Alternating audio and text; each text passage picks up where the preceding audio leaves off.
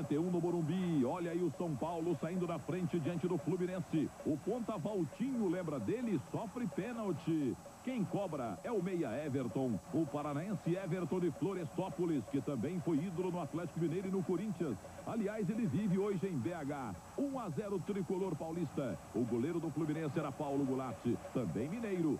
Segundo gol São Paulino. Valtinho de novo. Recebe na ponta direita, avança. E cruza rasteiro para Assis Pernalonga encher o pé. O Assis Pernalonga chegando na Francana. Essa do Assis, que era chamado de Ditão. Ele que depois faria muito sucesso com Washington no Internacional, no Atlético Paranaense e no próprio Fluminense, principalmente no Flu com o Casal 20. Está 2 a 0 para o São Paulo.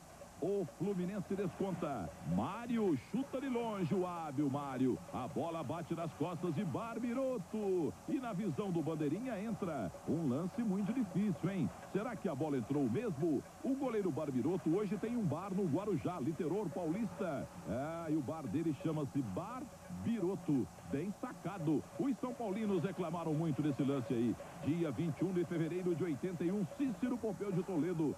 Paulo 2, Fluminense 1.